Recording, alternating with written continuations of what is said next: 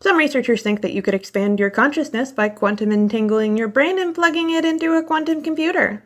This is based on the idea that consciousness could come from quantum events. Yes, it is a very weird idea, and we'll talk about it. The idea that consciousness comes from quantum stuff was pushed by Roger Penrose, a Nobel laureate cosmologist. Worthy to note that he was not a neurologist.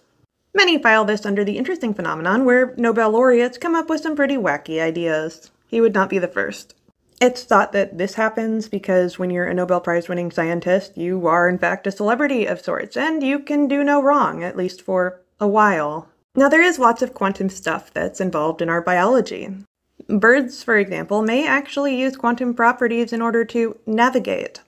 It may be involved in photosynthesis, and there is some thought that our ability to smell stuff is involved with quantum tunneling meaning molecules crossing an energy barrier that they normally shouldn't be able to.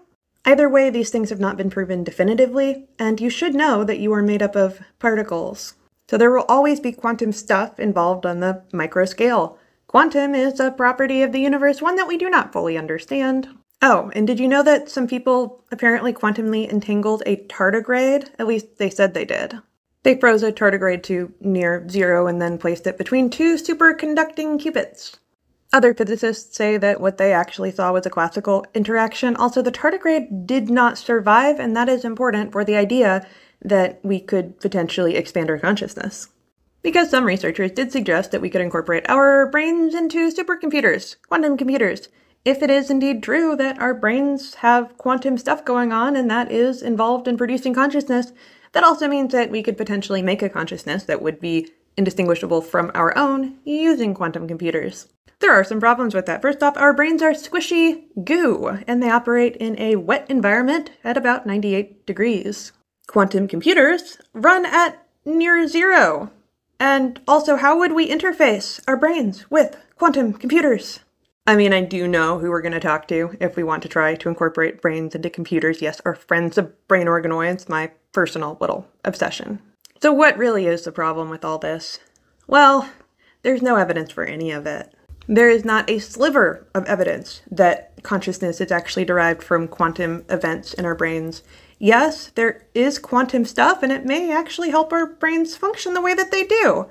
Microtubules involve quantum stuff. When your DNA is made, quantum stuff is occurring, but that's kind of just the property of what it looks like to be very, very small. We live in the macro world. So, yeah, maybe. Maybe consciousness is derived from quantum events. I couldn't tell you because literally nobody could. I'm not to dismiss the idea wholesale, but we don't like to believe things that we have no evidence for. You see a phenomenon, you try to explain it, and then you test it. So, go out and test it and get back to me because right now it is just wild conjecture.